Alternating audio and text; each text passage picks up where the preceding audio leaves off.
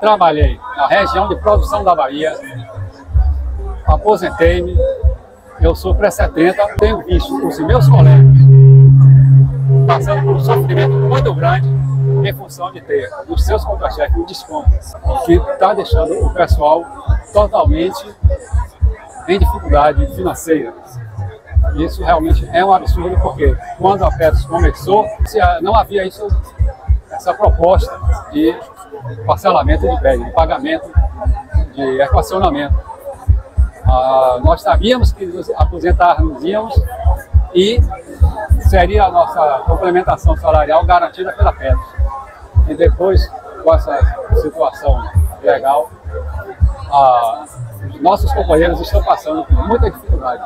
É lamentável um fato desse que aconteça e é preciso que se encontre uma solução. É dificílimo para um, uma pessoa que tem o seu orçamento estabelecido chegar e receber um contra-cheque por 200, 300 reais para passar o mês.